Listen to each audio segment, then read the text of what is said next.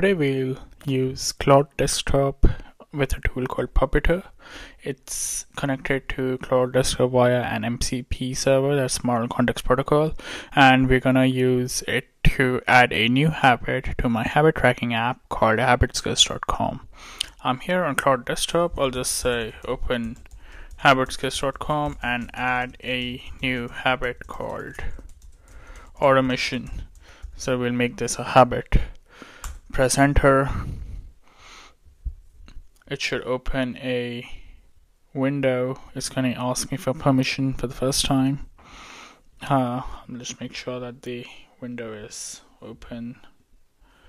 Okay, allow. Alright. Yeah, this is kind of annoying, asking for permission time and time again. Um, so it looks like it ran ran into an error but I think it's in the right direction. What's impressive about this is the model doesn't have any context over the about the website.